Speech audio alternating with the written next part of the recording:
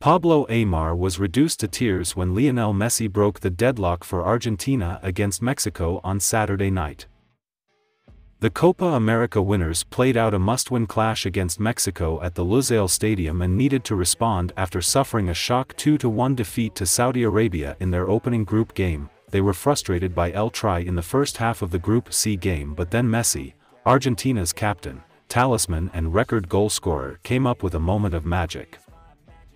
In the 63rd minute, Messi produced an exquisite touch before smashing in a stunning strike past Guillermo Ochoa from the area, the Argentina fans erupted in noise as Messi sprinted over to celebrate his eighth World Cup goal.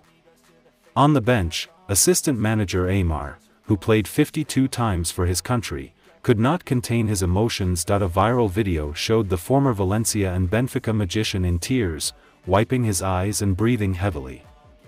It meant so much to the 42-year-old. Messi too was emotional and was seen pointing to the skies after equaling Diego Maradona's World Cup goals tally. The seven-time Ballon d'Or winner then turned provider, assisting a sumptuous second from Enzo Fernandez to secure a monumental winner for Lionel Scaloni's men. Argentina are now second in Group C, level on points with Saudi Arabia but with a superior goal difference. They are also one point behind next opponents Poland after they beat the Green Falcons 2-0 in the early kickoff. That huge games takes place on Wednesday at Stadium 974, with Argentina knowing they will be through to the round of 16 if they win their final fixture.